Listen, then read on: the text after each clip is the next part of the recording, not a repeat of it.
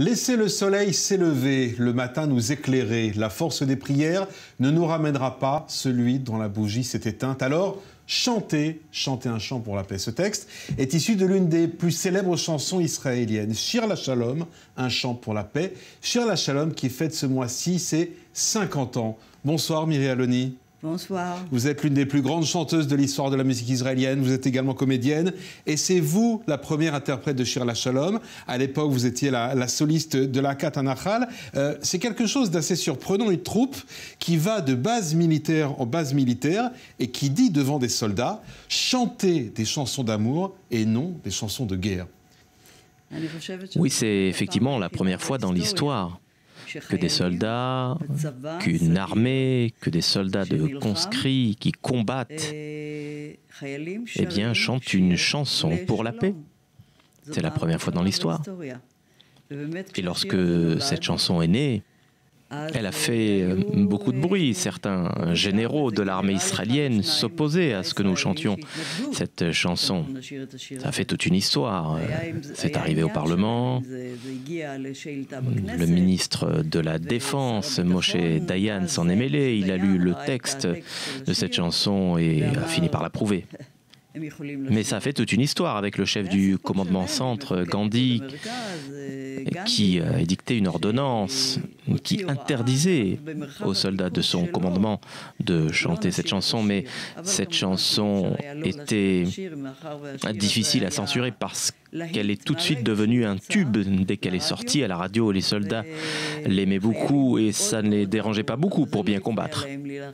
Il y a eu quand même quelques petits changements euh, parce que la censure est tout de même passée par là. Euh, vous venez de raconter à l'instant que le pouvoir militaire était gêné. Il a fait changer des paroles, notamment une phrase qui disait euh, chanter des chansons d'amour et pas des chansons de victoire, qui est devenue chanter des chansons d'amour et pas des chansons de guerre. C'est exact. Parlons euh, d'abord de l'auteur, celui qui a écrit cette chanson en 1968, après la grande victoire israélienne durant la guerre des six jours sur ses voisins arabes.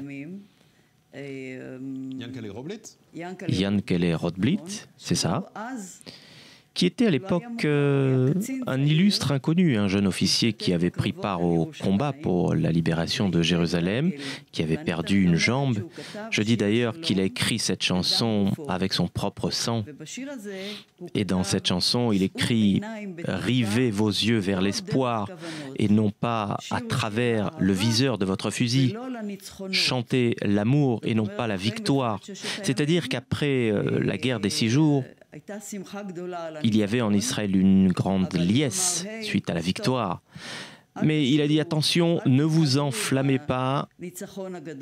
Hum, moi j'ai perdu une jambe et des soldats ont été tués. Et finalement cette guerre nous a coûté un lourd tribut. C'est à ce moment-là qu'il a chanté, euh, qu'il a changé euh, les paroles de la chanson chanter l'amour et non la guerre. Il est évidemment sous l'influence de la culture américaine, la génération, la Flower Generation, euh, faites l'amour et non pas la guerre. C'est à ce moment-là que la chanson été modifiée en devenant plus banale. Alors ça c'est sur l'origine de cette chanson. Euh, Shirla Shalom a aussi voyagé dans le temps. Et l'un des moments les plus intenses malheureusement, c'est ce jour de novembre 1995. Ce jour-là, vous êtes devant la place de la mairie Tel Aviv, qui ne s'appelle pas encore à l'époque place Rabin, mais Yitzhak Rabin est à vos côtés. Et voici ce que l'on voit ce soir-là.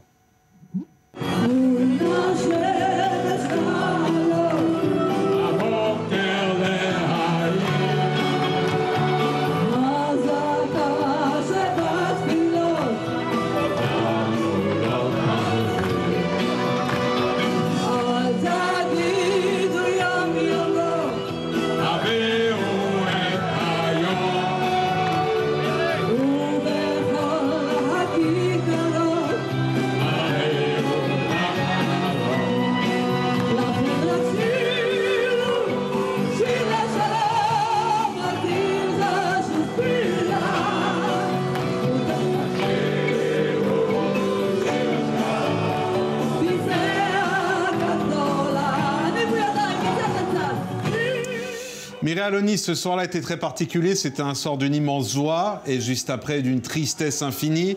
Yitzhak Rabin qui chante pour la paix, qui meurt juste après. Euh, au-delà de sa mort tragique, c'était incroyable de voir ce chef de guerre qui chantait pour la paix. Oui, quel paradoxe.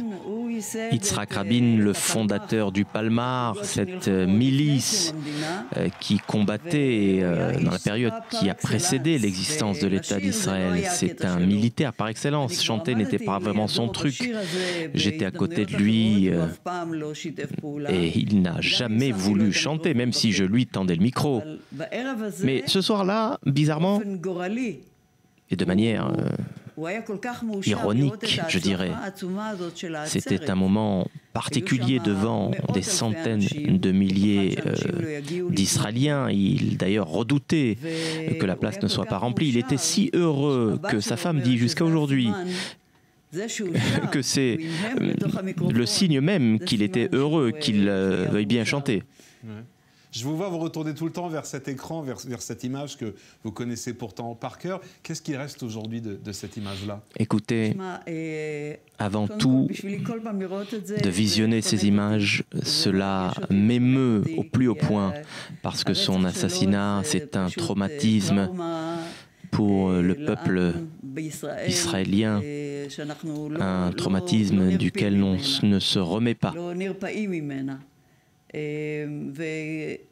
Et j'ai eu la chance, j'ai eu le mérite de chanter pour ce qui allait devenir finalement euh, le chant de sa vie.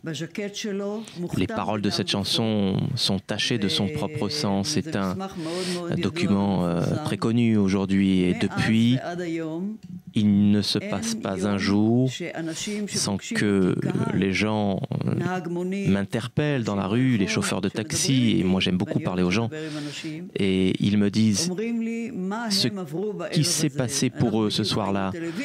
Nous avons vu cela à la télévision, nous étions sur la place des rois d'Israël à Tel Aviv. Moi, j'étais euh, avec euh, mes deux enfants, Irmé et Yosef, qui avaient à l'époque 10 euh, et 11 ans, qui étaient avec moi sur scène, et mon époux, Shmoulik. Nous avons descendu les escaliers immédiatement après Yitzhak Rabin. Il était juste là, devant nous avec nos deux enfants, je leur tenais les mains. Mon époux était à mes côtés, on a tourné à droite, à gauche, pardon, euh, pour euh, rentrer chez nous parce qu'on n'habitait pas loin.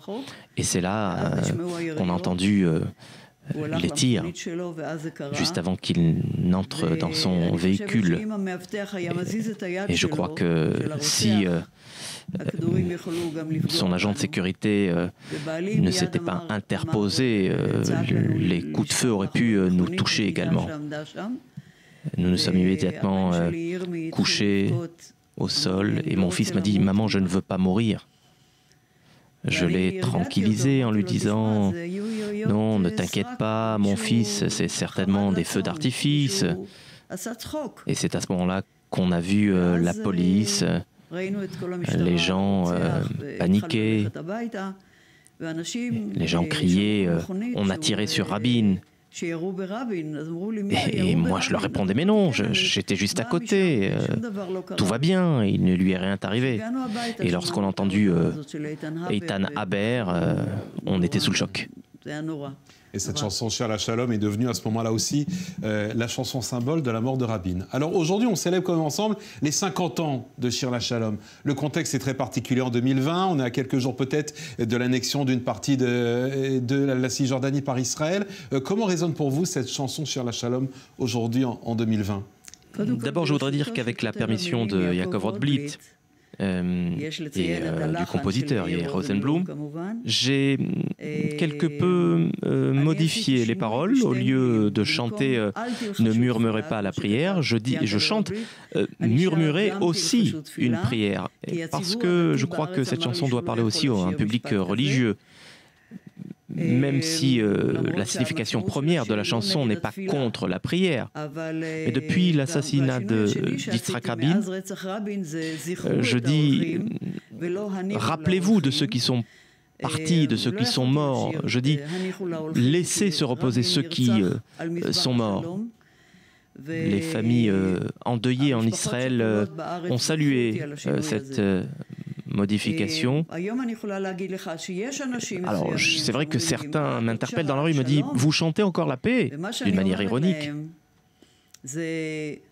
Et je réponds toujours, euh, c'est pas parce que vous avez vécu un amour euh, malheureux que vous devez euh, arrêter de chanter l'amour. C'est notre aspiration, l'aspiration à la paix, en espérant qu'elle arrive un jour, en tout cas.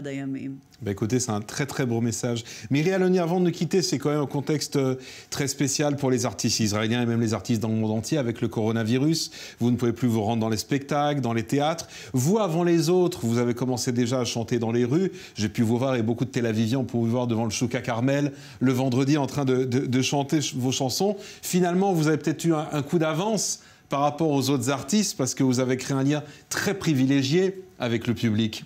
Oui, c'est vrai. Il y a 16 ou 17 ans, j'ai commencé à, à produire un, spectacle assez particulier. Je crois que je suis euh, la première à le faire. Euh, je suis tout simplement dans la rue avec un, un ampli, euh, un endroit décoré, et je chante de manière très informelle, sans scène, sans distance avec le public. Les gens viennent me voir. Aujourd'hui, avec le corona, je ne leur permets pas de s'approcher, mais de manière générale, euh, on vient, on m'enlace, on m'embrasse. J'ai même songé à, modifier mon nom en Mezouza parce que les gens viennent et euh, m'embrassent. Attends, Mezouza, Israël. Mirialoni Daraba, c'est un, vrai plaisir de vous avoir avec nous. Voilà la chanteuse de Shir la Shalom qui fête cette année ses 50 ans et un petit cadeau pour terminer cette émission. Eh bien, Mirialoni va nous chanter pour nous maintenant sur la Shalom. Et c'est sur ces notes d'ailleurs que vont s'achever ces conversations. À toutes et à tous, très très belle soirée. Et voici sur la Shalom. אותנו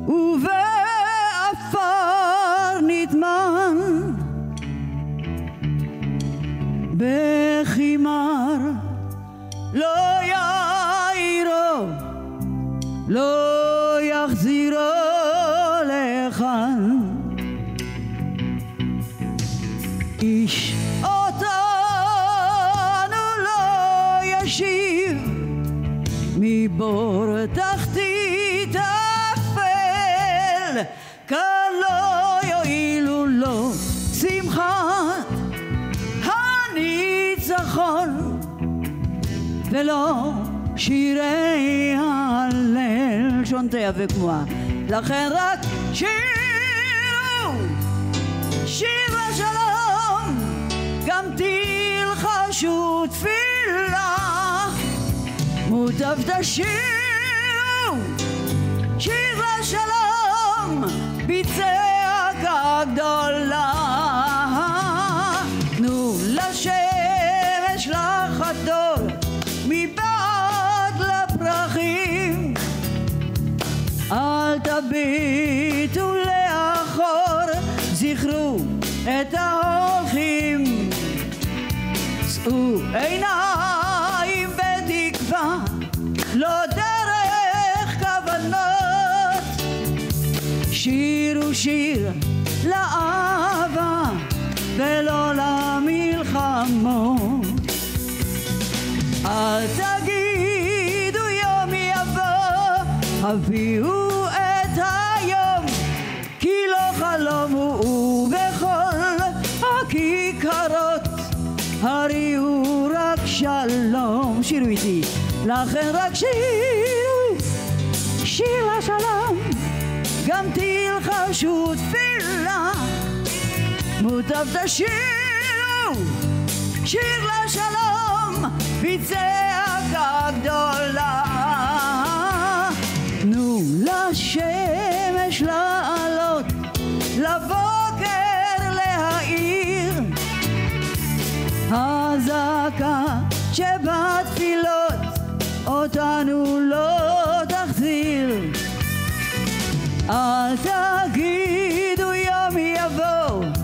הביאו את היום. ובכל הכיכרות הריעו רק שלום. לכן רק שירו, שיר לשלום, גם תלחשו תפילה. מוטב תשירו, שיר לשלום, בצעקה גדולה.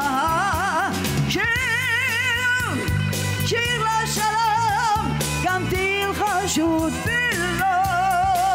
מוטב תשירו, שיר לשלום, בצעקה גדולה.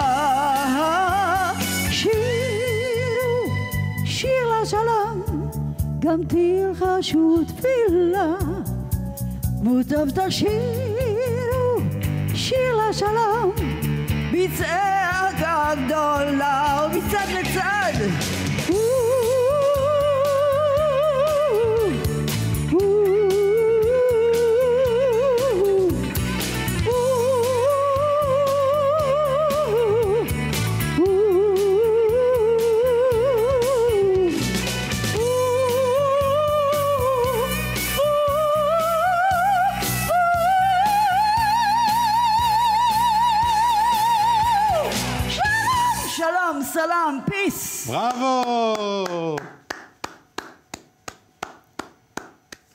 תודה רבה.